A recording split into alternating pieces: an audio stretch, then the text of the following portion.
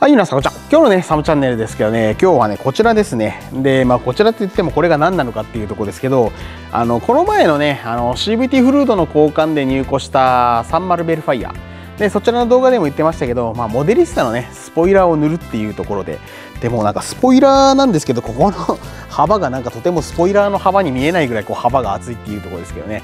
で、まあ、こちらのね、モデリスタのスポイラーの方を色塗って組み付けるっていう動画です。で本当だったらねあのここがシルバーでここが黒っぽい色になるっぽいんですけどももう全部シルバーでいっちゃってくださいみたいな感じなんで、まあ、そちらの方でねやっていきますそれではね皆さんご視聴の方をねお願いしますそれではね、まずはこちら、開封の儀ですね。まあ、そういうほどのもんでもないんですけどね。まずプチプチを破ってちょっと中身を出します。まあ、モデルスタっていうエアロね、まあ、作りもいいし、格好もいいしっていうとこ。ただね、思うのがね、例えば、じゃあ、その車のカラーに対して全ての設定を作ってほしいですね、塗装済みのね。だから、例えば白とか黒とかね、まあよく出るようなカラーですよね。まあそういったのはね、あの、カラーリング設定の色付きがあるんですけど、まあそうじゃないとね、基本的に色なしなんでね、まあ、そこが悪いですね。新車でね、出してる初めのうちぐらいはね、そういう設定を作ってくれると、まあ、ありがたいですよね。だから、こう、大体白黒と、まあ、あとはその推しのイメージカラー的なのがあったりとかすると、まあ、その辺のね、あの、カラーリングがあるんですけどね、まあ、この辺はね、まあ、もしかしたらシルバーはあったのかもしれないですけど、まあ、廃盤に、まあ、なってるのかなとかっていうのもあるかもしれないです。モデリスタもね、またね、あの、終わるのが早いんですよね、結構ね。で、こちらはね、今ね、新品の状態を、あの、ペーパーたわしですね、そちらの方でね、あの、研いでます。あの、普通にペーパーで研ぐとね、結構毛羽だったりとかしてね、あの、塗料が吸い込まれたりとかもするんで、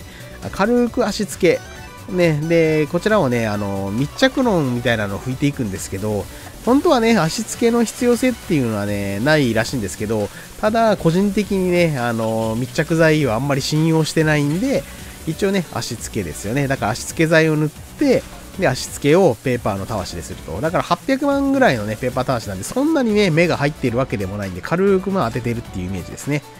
で、こちらの方をね、脱脂の方をして、で、脱脂をした後にね、まあ、どうしてもホコリとかがついてるんで、今度そのペタペタするね、あの、ものがあるんですね。これ、ちょっと名前がわかんないですけど、このペタペタするやつでね、こう拭きながらエアブローしてやって、まあ、ホコリを全部取ってやるっていう形ですね。で、こちらの方でね、あの、下準備の方が完了します。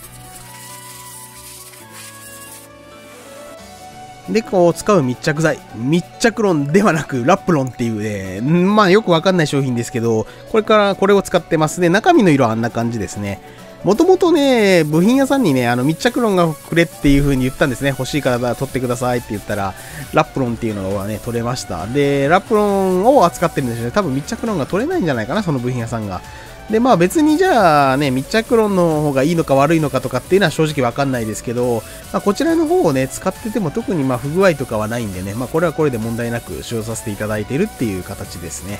で、あとはね、全体にこういうラップロンをね、塗っていきます。で、ラップロン塗って、まあ、ね、あの乾燥させてる間に、まあ塗料の方のね、作っていきます。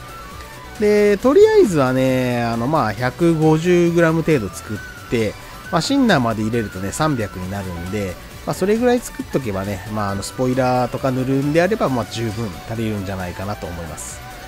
ですんでね、まずはこちら、カラー帳の方を見て、それで作るっていうとこ。本当はね、あのー、車を預かって、一回このカラー帳で見たのを作った後に原車で合わせるという流れをしてね、色を合わせるのが一番理想的です。ただね、仕事で使うからね、どうしても預かれないっていうところもありまして、残念ながらね、あの、まあ、カラー帳ベースでいくっていうとこです。で、もう結果から言うとね、まあ、最後の方でもちょっと言いますけど、あの、ちょっとね、あの、正面から見ると色合うんですけどね、あの、透かすとね、若干黒みが出るっていうとこですね。で、まあ、黒色をね、これ入れるんですけど、まあ、多分黒を入れずに作ったらちょうどいいぐらいだったのかなっていうとこです。で、まず塗装の方ですね。まずはまあバラ拭きをして、で、まあ全体的にまずは塗って、で、それを乾燥して、まあ塗ると。やって。で、こう最初はね、バラで塗っておかないとね、結構あの、塗装をね、弾くこととかもあったりするんですよね。だからそういうのもあるし、ね、まあやっぱり一度に一気に塗ってしまうものではないんでね、まあバラでまず塗っていってっていうところです。であとはね、まあまあね、しっかりと塗って、下の黒いのがね、出ないようにするっていうところですね。あとね、気をつけとかなきゃいけないのが、まあ、この部分で言うと、まあ、ちょうど下面になっている部分ですよね。気をつけとかないとね、色が入ってなかったりとかっていうこともあるんで、そういう部分はしっかり確認。で、あとね、まあ、この色はまあそうでもないですけど、黒色をね、塗るときですね、特にね、下地が白のものに対して黒を塗るときの要注意ポイントは、色が濡れてるって思ってライト当てるとね、白が透けてるっていうことたまにあるんですよ。だからそこはちょっと注意しとかないと、あとは大変なことになります。で、あとね、こちらクリアのね、塗装の仕上げの方をね、今やってるんですけど、ちょっとこのね、カメラのね、角度もうちょっと下向けとくと分かりやすかったですね。あの、端っこ切れてるんで、何とも言えないような状態になってますけどね。まあ、塗り方としてはね、こんな感じです。もう人によってね、塗り方もバラバラと思うんですね。距離もそうだし、ガンの強さもそうだし、まあ、握るね、ガンのグリップの部分。まあ、ガンのグリップの握りで調整する人もいれば、突出量部分をもう調整してね、フルで握ってもあんまり出ないようにしたりとかっていう人もいるのかなっていう部分ですけどね。まあ、こういった形でね、とりあえず塗って、まあ、透かしてみた時に、ツヤがちゃんと出てるか出てないかですね。バサついてるようなとこがあればしっかりと塗ってやって。まあ、ただね、あの、どうしてもね、後で塗料が痩せたりもするんで、まあ、その分はね、また肌の調整をしたりとかっていう部分です。で、こちらのね、パーツはね、まあ、色を入れて、で、あとね、こちらクリアの方を塗ってね、仕上げていきます。あの、取り付け場所がまあこんな場所なんでね、あの、なかなか塗るのが大変ですね。まあ、こういう時はね、どういう固定をするのがね、一番しやすいのかなっていうとこですけど、まあ、なかなかこのね、形状なんでね、固定方法が思いつかなかったんで、まあ、こういう感じにやって、まあ、ちょっとね、あと塗ったらね、バタバタ動くんで、後ろから手で押さえたりとかね、まあ、そういった形で、ま対応してるっていうとこです。で、塗装自体はね、あの、やる作業としてはね、嫌いじゃないんですよね。ただ、塗装っていうのは塗装に行き着くまでと終わった後の工程がめんどくさいからあんまり好きじゃないんですよね。あの塗装する前とかはまあ結局ペーパーかけたりマスキングしたりとかまあいろいろありますよね。で、塗り終わったら塗り終わったで今度ね、あの肌調整したりとか、まあそういうゴミ取ったりとかっていうのがあるんですけど、そういうのがめんどくさいからね、あんまり塗装好きじゃないんですよね。塗るだけだったら別にね、苦じゃないんですけどね。で、まあこれでね、まあ塗り終わってこんな感じですね。あと乾燥させて、まあ研いでいくという形です。で、こちらのね、スポイラーの方ですけど、まあ乾燥の方も終わってます。で、こういうプラスチック系のパーツはね、あんまりヒーターで炙りたくないんですよね。あのどうしてもね、熱で曲がったりとかっていうのもあるんで、今回はね、まあ、時間があったんで、まあ、自然乾燥でも自然乾燥させてから、ね、で、そこからね、あのまあ、こういう風に準備をしてます。で、今、モールですね、こちらの方をね、装着してます。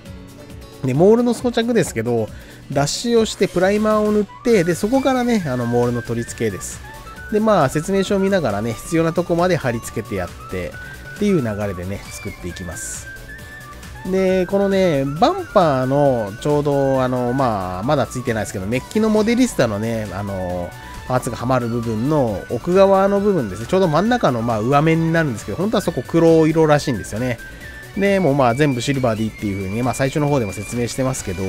まあ、そういう風にね、そこをまた黒に塗るってなると、またそこでね、塗る工程とかでマスキングだったりなんだりだったりとかね、まあいろいろやることが増えるんでね、大変なんですよね。だから、塗装のね、あの、塗り分けをやってくれっていうのはね、結構苦痛ですもんね。あの、地味にマスキングですごい時間を取られると。だから、エアローパーツの、まあ、リアバンパーとかで、あの、フィンみたいなのがね、5、6個ついてるようなやつで、例えばね、バンパー黒で、そのフィンだけシルバーに塗ってくれとか言われるとね、結構だるいですもんね。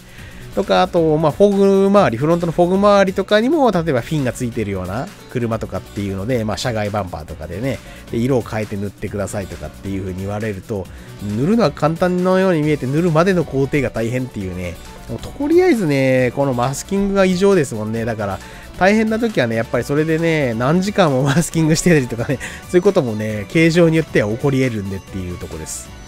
で、あとね、こちらの、まあ、バンパーの左右のフォグの部分に黒いパーツをはめて、で、あとバンパーフロント側ですね。こちら側にこのメッキのモデリスタのね、パーツですね。で、脱脂の方をして、で、プライマーを塗って取り付けると。基本的にはね、やっぱこういうエアロバンパー系は、あの、プライマーはね、できるだけ塗った方がいいですね。プライマーありなしで、ね、密着力全然変わりますんで、後々ね、剥がれてきたりとかっていうトラブルをね、防止するためにも、やっぱりプライマーは重要です。で、あとね、こちらの方ですね、まあ、ゴミ取りですね、こちらの方をやっていきます。で、ゴミを取って、で、あと磨いてね、あの、ペーパー目を消すっていう流れですね。まあ、番手で言うとね、もう1500番は今回使わずに、あの、2000、3000ぐらいな感じでね、まあ、やっていくっていうとこですね。で、あとはね、もう、研ぐのも全部研いでしまうとね、今度消化みたいになっちゃうんで、まあ、あくまでもね、まあ、純正っぽいような感じのね、まあ、なし肌ぐらいで調整するっていうところですかね。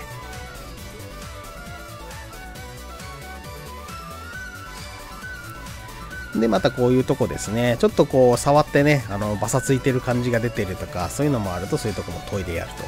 と。で、まあ、形状がね、ちょっと複雑な形状してるんで、まあ、そういうところもね、あの、できるだけ気をつけて。で、プレスラインですね。そういうとこを、あの、あんまりペーパーでやりすぎると、あの、字が出るんでね、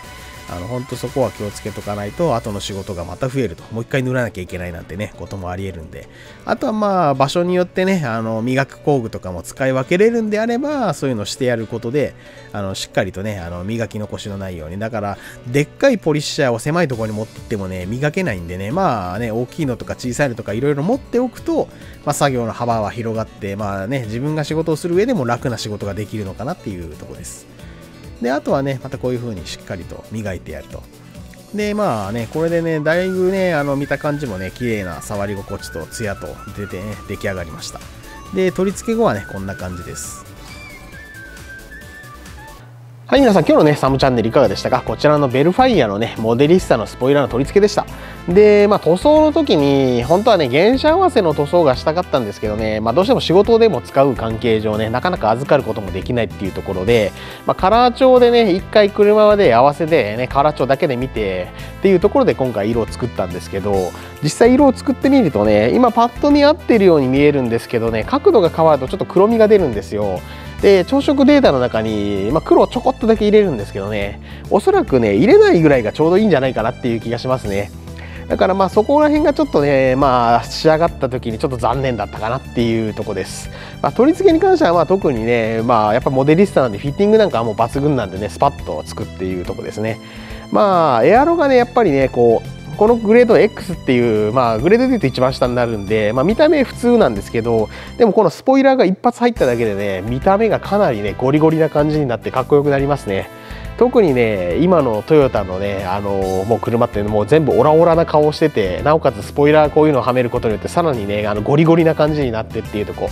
まあ、20年前ぐらいのねあのドレスアップしてる車なんかはね結構ゴリゴリなエアロが多かったんですよね。まあスポーツカーとかでも結構張り出し系とか多かったんでだんだんなんかそういう感じに戻っていってるのかなっていうね気はしますね。でまたそれがこうねあの10年ぐらい経つと今度もこうシンプル系に戻っていくのかなっていう気もするんですけどね、まあ、やっぱり時代はぐるぐる回ってるのかなっていうところですね。今回はねこちらのベルファイアのモデリスタのスポイラーのね取り付けでした。また次回動画アップするまで皆さん少々お待ちください。